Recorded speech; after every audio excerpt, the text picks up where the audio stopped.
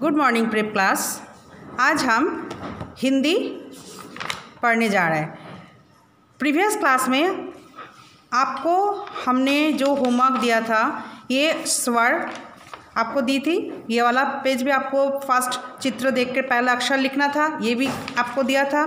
फिर व्यंजन व्यंजन ये जो है, व्यंजन दिए थे। और उसका एक्सरसाइज भी हमने कराया था। ये जो फिलअप्स है चित्र देख के फ़र्स्ट लेटर लिखना है। ये सब आपने इसी बुक में किए हैं और आपकी नोटबुक में जो होमवर्क दी थी, वो था स्वर और व्यंजन। I hope you will do it well at home तो ये सारे आपने घर पे किया। आज करेंगे नेक्स्ट चैप्टर वो है बिना मात्रा वाले दो शब्द। देखो, दो बिना मात्रा वाले शब्द आप ऑलरेडी प्रीवियस क्लास में पढ़ चुके हो। जो चित्र देख रहे हो, उसी का आप नीचे जोड़ के लिखना है। जैसे ये क्या है? घर।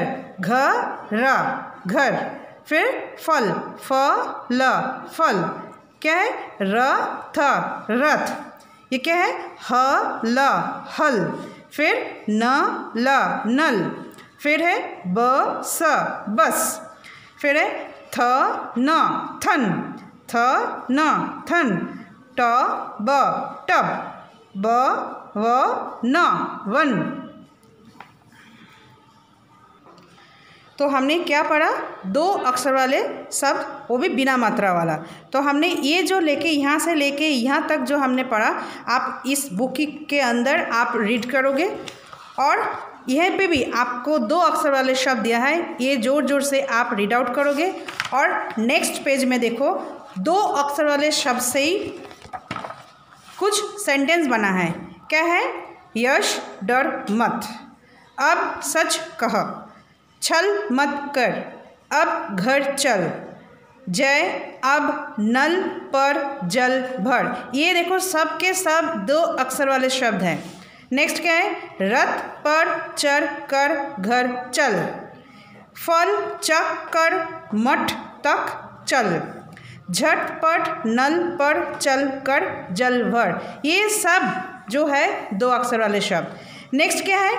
नेक्स्ट में इसी बुक के अंदर आपको फिलअप्स करना है। नीचे कुछ पिक्चर दिया गया है। उसी पिक्चर को देखते हुए आपको यहाँ पे दो अक्षर वाले शब्द लिखना है। जैसे गज। गज। ये क्या है? फल। तो फल। रथ। र। थ। ये क्या है? आग। अ। ग। तो ऐसे करके आप इसको इसी बुक के अंदर ये कंप्लीट करोगे। नेक्स्ट क्या है? खाली स्थान है। यहाँ पे आपको दो अक्षर वाले शब्द लिखा हुआ है। आपको कैसे लिखना है? देखो, एक करके दिखा है, जैसे जल। कैसे लिखा? ज प्लस ल। तो आप भी लिखोगे ऐसे करके नीचे वाला, ब स। बस तो कैसे लिखोगे? ब प्लस स। बस, जैसे गज। ग प्लस ज। गज। शौक। श प्लस क। शक। ये क्या है? अब। अ प्लस ब। अब। तो ये सारे जैसे मैम ने किया, ये आपको खुद करना है। आपकी इसी नोट, इसी बुक के अंदर आपको खुद करना है। नेक्स्ट क्या है? नेक्स्ट है, नीचे दिए गए अक्षरों से बिना मात्रा के दो अक्षर वाले शब्द लिखो। क्या है? दो, एक तो पहला अक्षर लिख दिया, दूसरा अक्षर घ, र। फिर क्या है? घर हो गया, फिर ब, श, बस। छ, त, छत। च ल, चल। ह, ल, हल। फ, ल, फल। ये सारे दो अक्षर वाले शब्द इसी में आपको फिलअप्स करना है। मैम ने दो लाइन कर दिया, बाकी आप इसी बुक्स के अंदर फिलअप्स करोगे। चित्र पहचाना और छूटे अक्षरों को लिखो। देखो, यहाँ पे कुछ चित्र दिए गए हैं और एक एक अक्षर लिखा हुआ है। जो अक्षर नहीं लिखा है, वो आपको लिखना है। जैसे किसकी चित्र है? ये फल की। सिर्फ़ फ लिखा है तो कौन सा अक्षर छूटा है? ल। तो आप यहाँ पे ल लिखोगे। ये किसकी चित्र है? बस। तो एक अक्षर यहाँ पे श लिखा है तो कौन सा नहीं लिखा है? कौन सी अक्षर? ब। तो आप यहाँ पे ब लिखोगे। ये किसकी चित्र हैं? नल की। तो इसमें एक अक्षर लिखा है न, और दूसरा आपको ल लिखना है, ये जो छुटा हुआ है। ये क्या है? हल।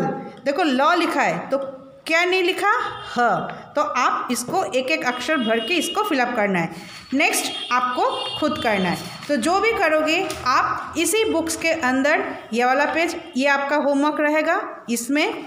और ये वाला पेज भी आपको इसमें ही करना है, इसी बुक्स के अंदर ही करना है।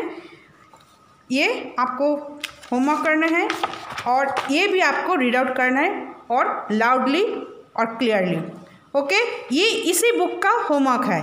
नाउ नेक्स्ट नोटबुक में. नोटबुक में सेम टू सेम हमने होमवर्क डाला है. नोटबुक में दो अक्षर वाले शब्द देखो मैम ने लिखा है. जैसा मैम ने घर घर लिखा फ ल फल लिखा, न प्लस, ल, न लिखा, ब प्लस बस लिखा.